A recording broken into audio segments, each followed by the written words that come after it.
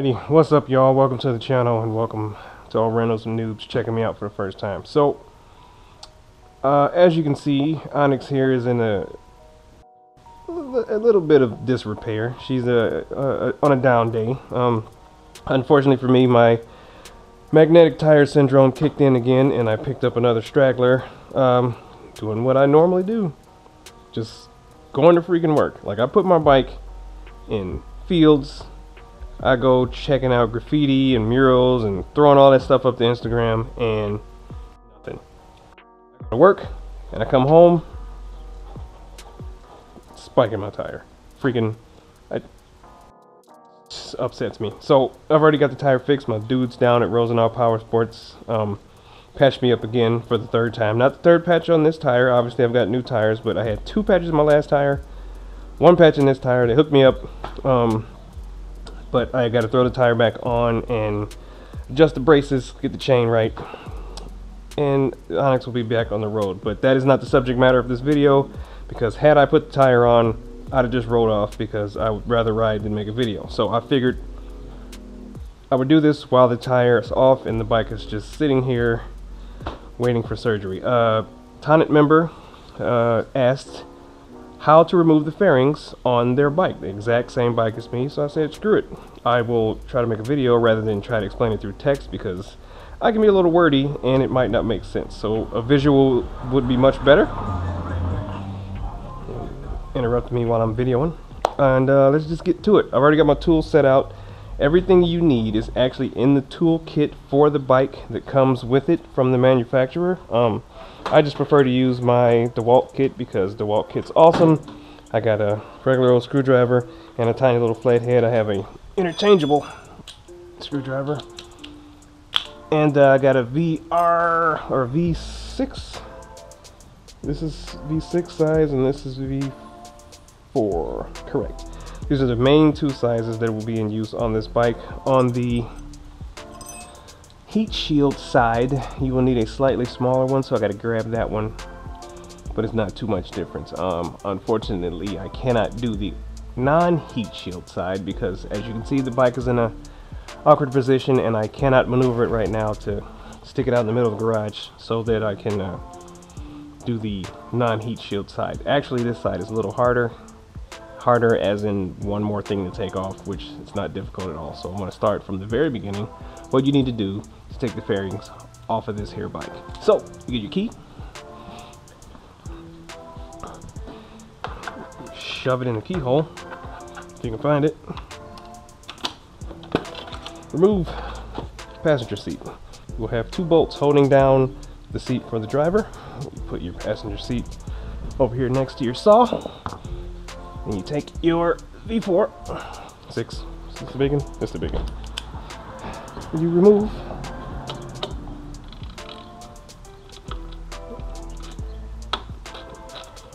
these two bolts.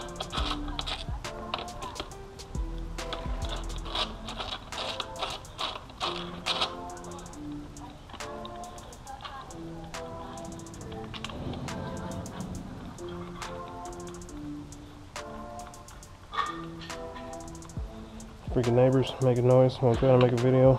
It's very annoying. Take your pass or driver seat, remove it. Place it in a safe location.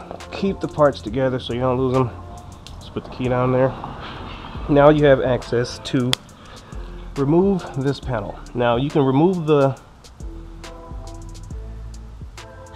uh, bolt for this panel, but the seat kind of, the lip of the seat sits over this piece and it makes it very hard to remove. You can do it, let's just do it the proper way. So you take this guy, remove this bolt here.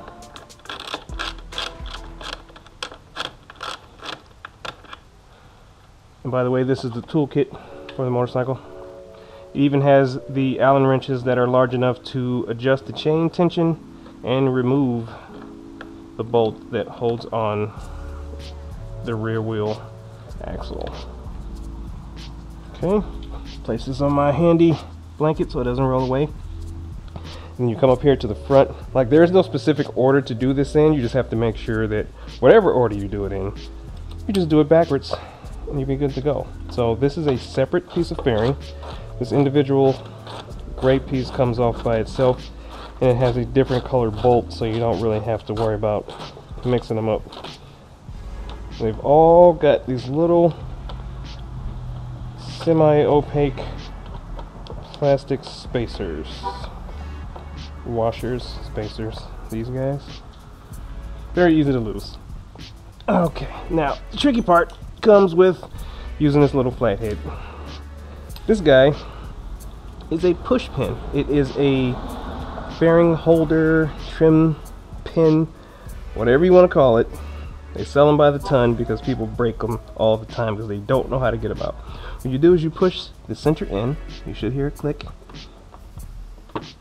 Or a little dupe, And that's a spider. That's that's crazy. And then you take your screwdriver and you pry this little guy up. Just like that. And it comes right out. I mean it comes right out. I broke the one on the other side because I was getting a little too uh, enthusiastic one day, but when you go to place them back in, all you do is set them back in the hole, and then you depress this, until it's flush with the center and then your piece is locked in. It's much like a wall anchor the sides expand out and you're good to go. But all you gotta do is pull it. Those sides collapse into the channels and then you can pop it right out. Very easy to take these guys off. Now this can be a little daunting if you've done it for the first time or doing it for the first this spider is really running laps on my bike there are friction pins um, rubber grommets that hold in this part of the fairing. So you want to get some gusto and you want to pull out towards you. There's one, two, and three. There's one here and there's one here. And then you want to take the sharper part of the fairing and slide it forward. Boomski. So this guy, this guy, and this guy correspond to that hole, that hole, and that hole. Comes right off. Right? Take your 1000 banner and you stick it over here on your floor tile because you're not done with your kitchen yet. And then of course you would take a screwdriver or whatever you can do to get these things off. It freaking hurts. Oh, my man thumb did it. Yay. Um, and you take, uh, you pull the light out because the light is attached to the fairing which you're going to be removing. This bolt. Uh, am I crazy? I mean, I am, but not that crazy. Okay, yeah this bolt holds the fairing in. So you're gonna get your four. This video is much longer than it has to be because I'm yapping, but I want you to get the full yap experience because you deserve it. Course you can just do this by hand. And hopefully I get all this right on the first try because it's been a quick minute since I took the fairings off. Haven't taken these puppies off since I did the exhaust. And the only bolt I'm really worried about is this, this black guy. Gotta worry about the black guy. Take this one, take it off. They are all the same size. This one sits on very much like the first fairing I took off. Held on, a little bit of pressure. So you pop it off. Don't be scared It's gonna make noise. It's got the same pin set up here and here. They go up in here and up in here. So you set this on your floor tile because you haven't finished your kitchen yet. And you come over and then you get your V4. you unscrew this guy.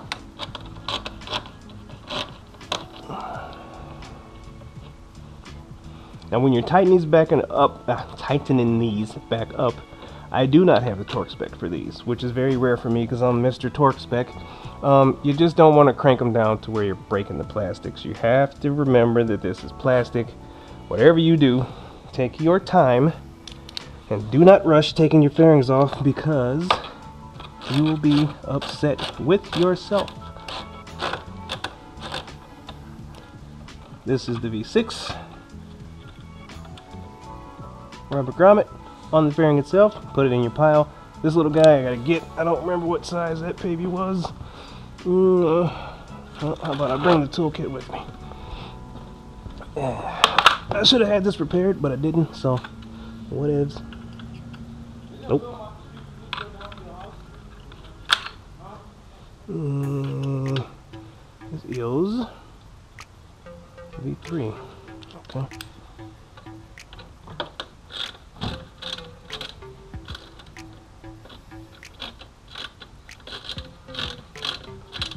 Okay, so you take your V3 and you remove the heat shield, which is protecting your shins from your fairings or from your exhaust.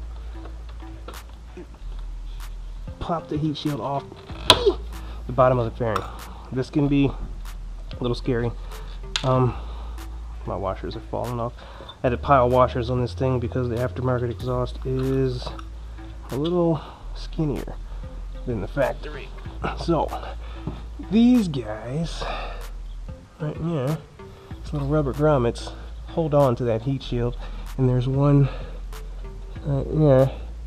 So when you put these things back on, you know, you can use some spit, some soapy water, or Windex just to get them back in there. I would not use grease because they will work themselves back out. You only want it to be lubed up to get into the bike and not out. So these guys, another set of fairing holders.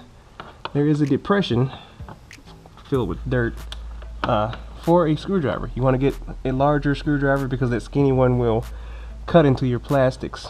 So you take this guy, you put it into the depression, and then you twist. Take your fingers, yank that baby out, set it in your pile. There's also another one directly under the fairing. I don't know if this camera's picking up, but I will get another shot.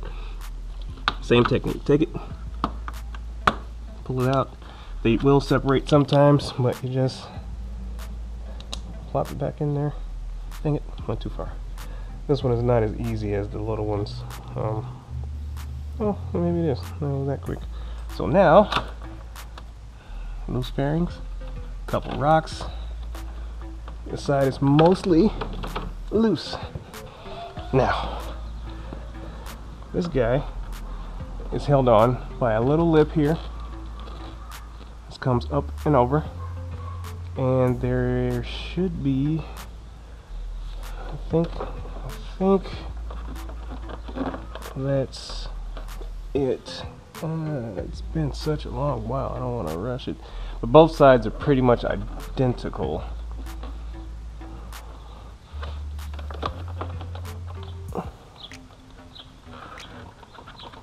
Okay, so I think it's pretty loose. Now, the one problem you run into are these little pins. Uh, get my flashlight here. You guys can see them. This guy. So, in order for me to get the side off that I'm working on, I have to be over here in order to push the pin in, pop it out, and it releases this fairing, this fairing, this lip here. Oh dang, I didn't line it up the last time I put my fairing. What kind of shoddy work. Like I can do it from here. I can catch it. Eh, I can't see. My face is stupid. There we go. There was that violet click I was talking about. I have no idea if these camera glasses are picking this up. I'm also glad I'm doing this on the bottom of my bike because I'm scratching it to all hell. Okay. Yee, almost died. I'm gonna put these guys over here uh, just simply because I don't want to mix them up the other clips. There's three total, two at the top, one down here at the bottom. I'll try to get a better shot with my cell phone or something so you guys can actually see. I do not like doing it this way because it's such a bad angle. It hurts my back meat, but I obviously can achieve it. And then there's one down here, which I normally can't find. I just found because I'm a champ. Champ sauce. I got it. Okay. Yeah. Loosey goosey. I do believe. Man, I'm getting rocks all over the place.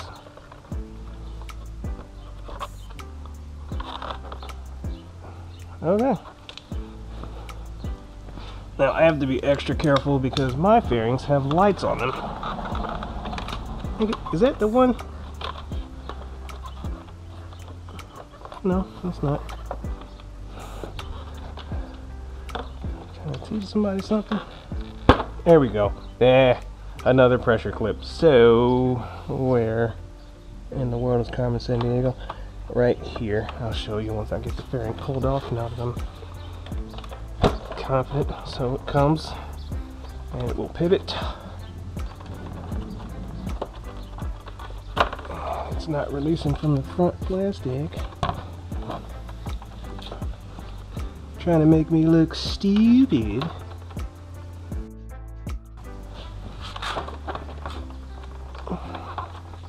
I released the wrong one. Oh, duh. So, don't miss the giant bolt that I kept looking at but never loosened.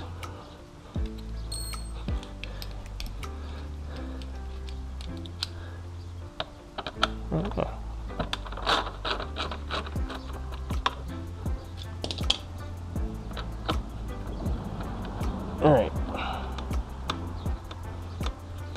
Now I'm forced to hold the fairing because I don't want it to pivot forward and break because I was not paying attention to what I was doing. Huzzah! Oh, finagle is real. So these little guys make moving your fairings a bit difficult. You can pull them off. They're little like Christmas trees. You pinch them in with a set of pliers or your fingers. And now you're free to move around. Like I said, my fairings are held on by lights right now. My LEDs um, pretty much are the only things holding the fairing on right now. This job would probably take hmm, less than 10 minutes, 7 minutes or so. And then you got your fairings off. The process is exactly the same for the other side. And uh, the reason you had to take those two bolts off, those retaining clips, was for this guy and this guy because it is attached to the fairing for the cowl of the bike. The bottom one, uh, that's a mistake. I mistakenly took that one off, so you don't need to take the bottom one off. But I don't want to pull these things out any farther. Well, that's how you do it. You pretty much can get down to wherever you need uh, for your job by taking the fairings off of this guy to this point. Um, without the lights, the bike would be completely naked on the right side right now, and I would be able to access anything I needed to access over here. If I needed to change the coolant, inspect the radiator itself, mess around with the clutch. There's the clutch cable. Um, the other side would be the stator, of course, and the idle adjustment for the engine idle speed. So, with all this yapping, I'm gonna budge my bike back up. I'm gonna put the tire on, give her a nice wash down, some spray with some SC1 top coat, uh, high gloss coating, and uh, call it a day. So hopefully this video was a little educational. I know it was a little back and forth. I didn't prep. I just started shooting and uh, actually forgot about a couple bolts that I had to remind myself of just now. So there you go. Other than that, the job's not hard. You just have to be patient, um, especially when you're going in reverse and putting your parts back on. This guy will break.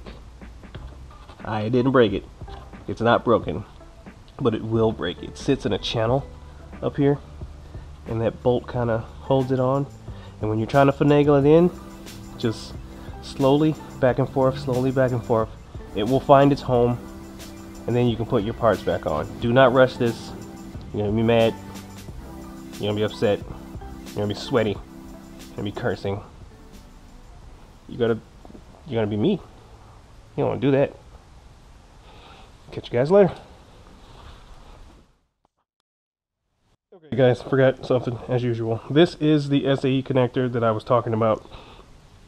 Um, that I use my wireless quad lock charger on uh, just in case any of you guys were wondering this has a 7.5 amp fuse it came with this fuse um, why I have two of these I don't know but you can just google fused um, SAE connector I don't remember where I got this one so you know what screw it I'll just look it up and I'll put a link to one in the description But of course, this one goes to the hot, this one goes to the negative. These are ring terminals. You can tell that because they're shaped like rings. You place them on your battery, either the side or the top. And this little guy, in case this guy starts to act up or anything in the chain, the fuse is as close to the battery as possible to cut the power to make sure that I don't get zapped, my bike doesn't get zapped. Danger averted. Um, I believe the quad lock charger pulls about 5 amps. I could have put a 5 amp fuse in here, uh, in the one in the bike, but pulling 5 amps over a 5 amp fuse, eh, it, it'll work. But sometimes that fuse will get a little warm because it might be right at the limit or one of those things. You're supposed to be able to pull 5 amps over 5 amp fuse. It's supposed to have some tolerance before it blows, but throwing 7.5 amp in there gives me that extra wiggle room in case one day this thing decides to just, oh, I want to pull a little bit more power and then it doesn't blow the fuse. But if it starts to pull 7 amps, it's way too much. Fuse initiates itself, or kills itself, zaps, and then bike is safe. So, most of this fairing removal was for the demonstration of how I got the fairings off in order to install the wireless charger, except I installed and ran the cable on the opposite side in the same channel, just over there. Um, this side of the bike is harder to take off only because of the heat shield. The fairings um, are extremely hard to take off if you don't pay attention and take off the bolt that's staring you right in the face. But they're not hard to take off at all as a job. This should only take a few minutes, but you just, again, have to be careful when you're removing your plastic parts because ordering a whole fairing for one little thing that got broke, it's a pain. And like I showed you before, the channels on the front of this fairing slide back into place. There is a notch here. If you can't line it up, stick your face back there, see what you're missing, and then try to line it up, eyeballing it instead of trying to feel for it. It'll, it'll save you some frustration. Um, and your bolt holes will line up. You cinch those babies down. These are um, rubber grommets with screws in them. They will tighten up, but they will keep spinning if you over tighten them. So just get some good pressure on there. Um, not over tighten. This guy's into the frame itself. Still don't over tighten because you will crack the fairing. And then that's about it, guys. Water, spit, Windex to get your stuff back in the grommets. And now I think I'm done yapping. Catch you guys later.